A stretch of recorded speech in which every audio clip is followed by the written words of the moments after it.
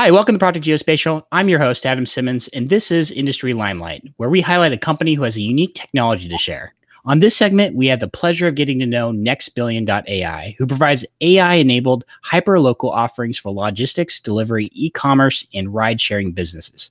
With us to discuss NextBillion.ai is co founder Gaurav Bubna. Uh, Gaurav, thank you for joining us. And can you tell us a little bit about yourself before we dive into learning about NextBillion.ai? Thank you so much, Adam, for, for having me here. Excited to be sharing more about us uh, as a company and, and what you're doing in location. Uh, yes, I mean, my background is basically, uh, you know, by education, I studied computer science, was always very interested in, you know, everything mathematics, deep technology, etc.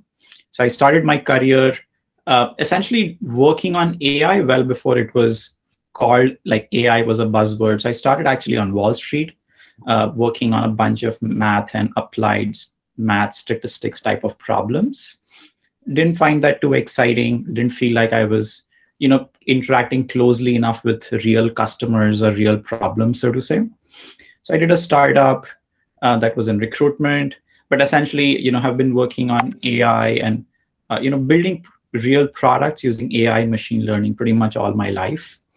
Uh, my stint with uh, you know this experience or, or what led to uh, this uh, starting of this company was again uh, in the last five years i've been working in ride sharing and deliveries etc and one of the things we noticed there was uh, so I, I, led a bunch of product teams there focused on you know what's called marketplace or fulfillment problems. Essentially how do we ensure packages or rides or goods uh, get in a very predictable fashion you know where they should be going. How do we ensure they get them fast? How do we ensure those things are priced effectively? And essentially we saw that maps and location played a huge role in all these industries. Uh, and that was my background for the past five years before starting this company. And essentially what in a way led to and, and you know i'm sure we'll touch more upon that uh, but what led to us starting this company Excellent.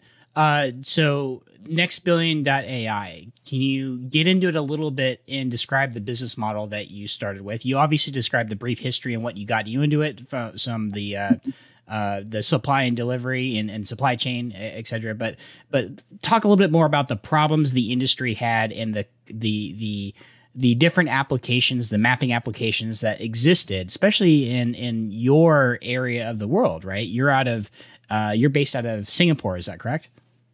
Yes, correct. Yeah, so I mean, I think maybe it's it's useful to you know share a little more context. Uh, so uh, I was working for this company called Grab, which is like this you know large super app as they call it, uh, based out of Southeast Asia, uh, headquartered in Singapore. Uh, and essentially, it operates a ride-hailing business, a food delivery business, a logistics business. So think of it like Postmates and DoorDash and Uber sort of all mixed into one. Uh, and uh, what we saw there was we were very heavily reliant on Google Maps, uh, where pretty much like there was a phrase we used to use internally called "no map, no app." Uh, so because it, it, you know we relied so heavily on Google Maps, uh, and Google sort of kept increasing its prices over the years. In you know in 2018 there was this infamous 10x price increase that it did. Uh, and so, so, you know, cost was one element of it. All these businesses tend to be relatively low margin. Uh, so maps costs are pretty substantial. So that was one element. Uh, and Google, for some reason, has just kept increasing prices over the years. Uh, and we anticipate, it, you know, that to continue to be the trend going forward as well.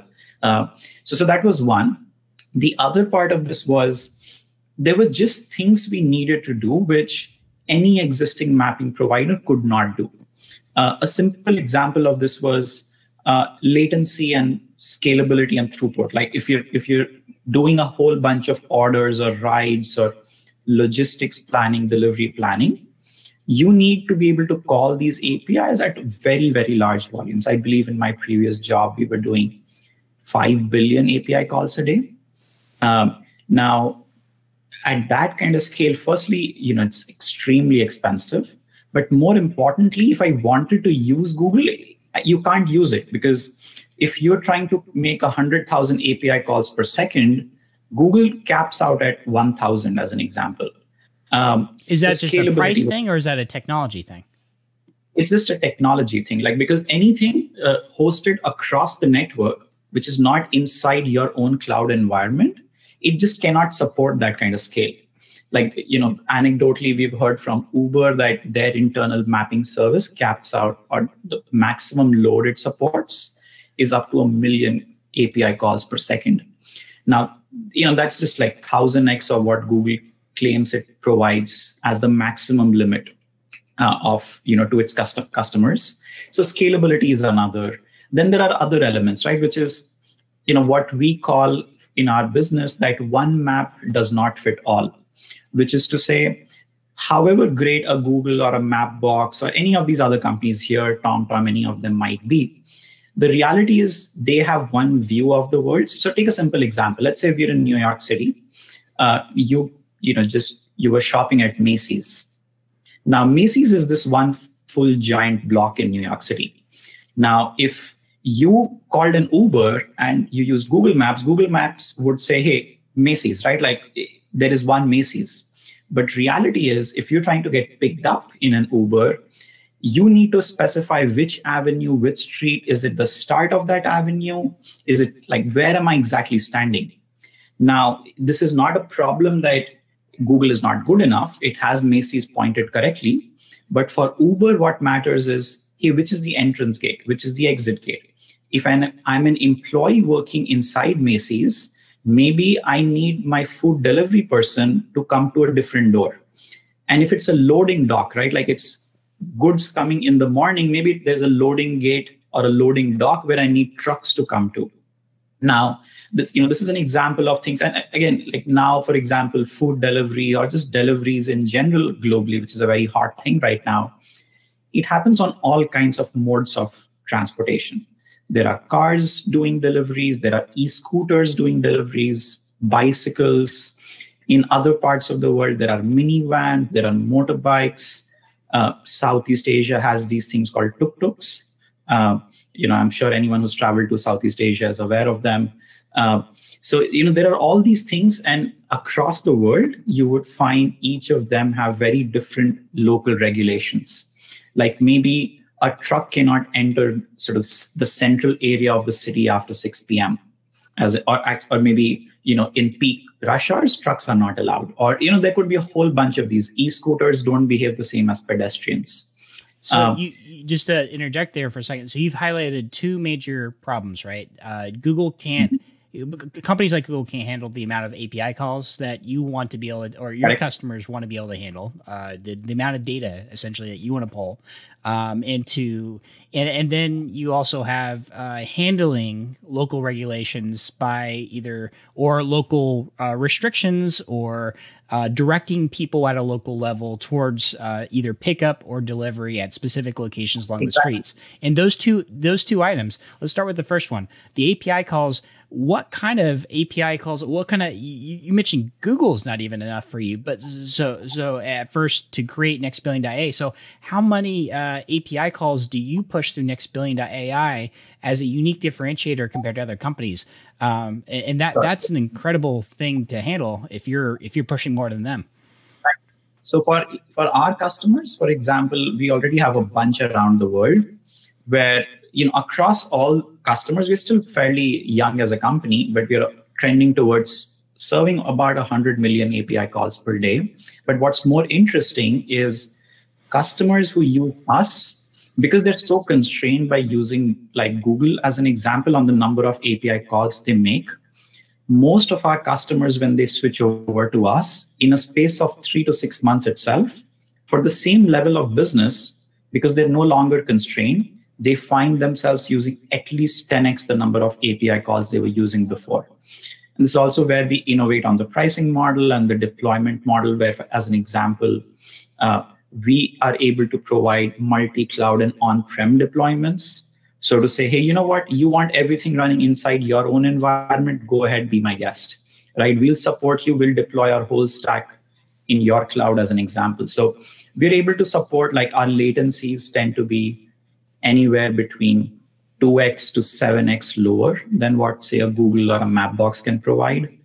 Our throughput, the maximum number of API calls we can support, we've already done 20x more than what any of these services provide to their customers as the stated limit.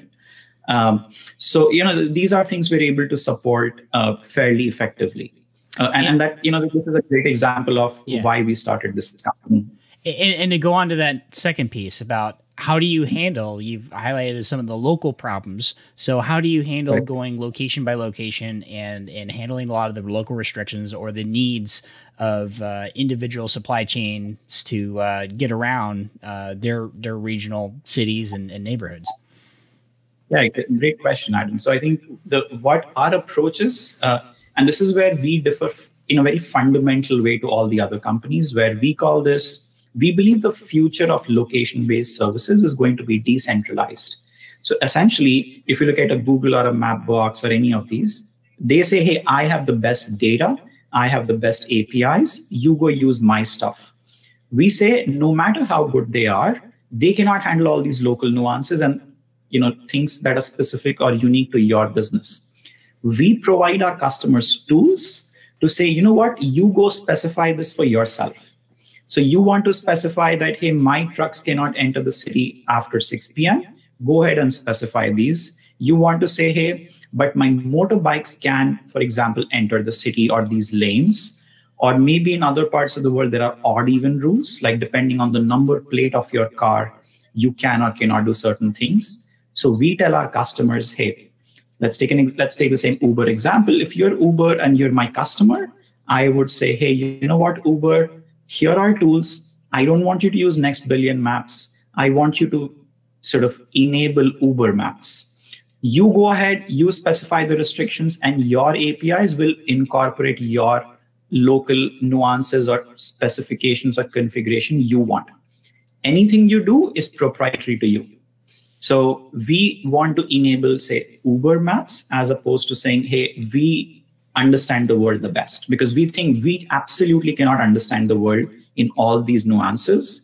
Uh, so we want to enable our customers to do whatever they want. So so you point them towards what you you think is best for their local region instead of pointing them towards either yourself or having some agnostic Google Maps or or you know uh, Mapbox for everything. Exactly. So, so that that's exactly our vision. Where effectively, you know, another way we tell companies is we're trying to deconstruct what all these mapping companies, you know, use internally, and provide those internal tools or components in a very easy to use manner. So to say, you know what, Google internally obviously specifies road closures, but instead of everyone seeing the same version of road closures, you want to specify your own road closures or where you do not want your drivers to go, go ahead and specify that. That's it. You know, you specify this, you don't have to worry that, hey, Google or Here Maps will take a month because it needs to verify, it needs to do all these things, make sure it applies to everyone. You want to go specify, specify it right now, and it's live in the next 10 seconds.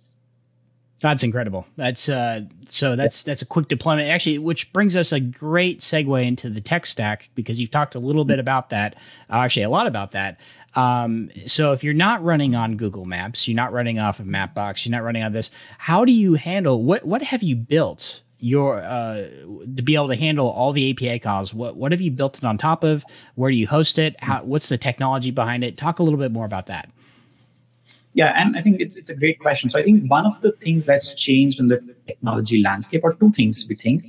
The first is in, in the mapping world is this rise of open source tech and open source data, right? Like which is it's the same trend that's happened in a bunch of other industries. It's just surprising it, it, it didn't happen so much in location-based services. So one is OpenStreetMaps and the entire ecosystem around OpenStreetMaps. So, you know, we believe we are, you know, maybe after Mapbox possibly the first company that's taking all of that and making it sort of enterprise grade. So think of it as, you know, we offer, you know, that's a development that we leverage heavily for our customers to, to build sort of these configurable applications. That's one. Another bit that we rely very heavily on is, you know, in the recent years, containerization and Kubernetes, etc. uh, that has sort of you know uh, risen quite a bit. So one of the advantages we have as a very new company is we you know we are Kubernetes first. So everything that we've done is containerized. Everything is you know deployable anywhere. And what this allows us to do, the combination of these two things is uh, we are able to create very configurable applications. It's super easy for us to say, hey, you know what? Uh, you know, you're the, I don't know, you're a US government agency in the United States. You have signed up on Azure. You want to be able to overlay some data, have some APIs configured to your needs. Super easy for us. We can go ahead and deploy this in Azure such that it works in California. So everything is close to you in your environment, everything. Uh, but let's say we have a ride hailing customer who's based out of Singapore who wants some totally different set of things. It's very easy for us because we're not constrained in any way by this underlying centralized infrastructure that, hey, I can only build on top of what Google provides me. So if Google does not provide me an e-scooter option, sorry, I can't provide any solution that's tailored to e-scooters. So I would say OpenStreetMaps and you know Kubernetes are two sort of recent innovations we leverage very heavily on top of.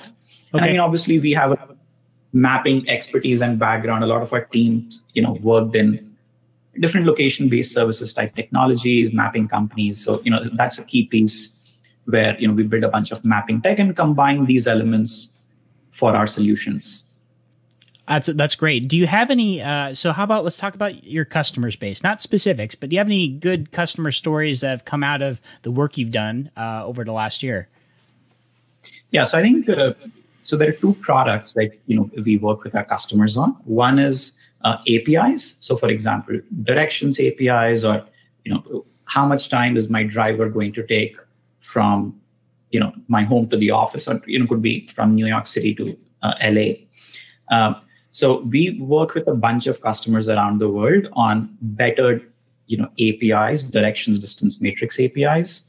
Uh, an example is we work with one of the largest food delivery companies in the United States. They had the same problems: cost of Google Maps, uh, scalability problems, etc.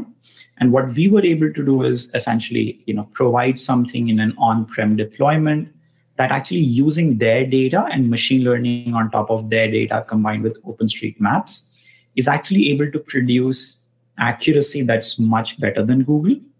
Um, it's also able to handle loads that are like 10x higher. It's able to have latencies that are 4x lower. Uh, so, so they're finding you know tremendous value in this. Uh, and, and the interesting thing is they do deliveries in, for example, cars, which is a very plain vanilla use case. A different example is we are working with this freight platform in the United States, uh, where they they you know their software runs on a bunch of trucking companies, and their truck. So imagine if you're a truck driver going from LA to San Francisco, um, or New York to San Francisco. Google might say, hey, you know what, that trip is going to take me two days uh, in a car because it's going to assume non-stop driving. Cars drive at a certain speed. But hey, if I'm if I'm driving a large truck, I'm not going to be driving at the same speed. I'm going to be stopping along the way, eating along the way, sleeping along the way. So a trip that Google suggests takes two days, in reality, will probably take me closer to six days, as an example. Uh, so that example of another customer, you know, types of customers we support. This is on the API side. Another interesting innovation we are doing is on the map data side, which is uh, there are a bunch of companies that try to use OpenStreetMaps directly, or they try to use you know Here and TomTom's data as an example. So you know this is an example of a ride-hailing company based out of Southeast Asia that wants to maintain its own private map data layers. Again, not be constrained by these refresh cycles of these mapping companies that can take a month, three months, six months not even sure how this goes. These businesses are very real time. So they take sort of map data and they they've built stuff or they want to be able to maintain their own layers, be able to respond to fixes immediately. They have a bunch of data they want to be able to you know take that and improve maps with. So we, for example, have built tools to help them manage map data. So we call this offering map data management as a service where we take map data, we are able to take their proprietary data and build a bunch of tools that can create custom sort of private data layers for them, allow them to merge any updates that come from their mapping provider, overlay their custom data, and we take this entire headache of operations, tools, etc., and map data out of them. And again, we deploy all this, you know, inside their cloud environment. So they're super happy. They can then easily go and build their routing tech on top. So, so these are two examples. You know, one is on the API side, one is on the map data side. Uh, in both scenarios, we're pretty much able to. So we have customers today across four continents, all except South America today. And there's no reason we can't serve South America uh, across some 10 or 12 countries. Uh, so yeah, so really excited about you know how how these go. No, that's that's amazing. So you got a lot of uh, already within a year of operation, you have some uh, good use cases, some good customer mm. stories that have come out of it, and you're already working in several locations around the world. Uh, you know, you, have already mentioned you're out of Singapore, you work in the U.S., uh, you've mentioned mm. India, I believe, once, and uh, according to uh, some of your material on your website, you even you even have some customers out of Beijing, right? Um, so. Right uh, once again, you're already going well beyond where you initially established, which is incredible. Lots, lots of growth ahead.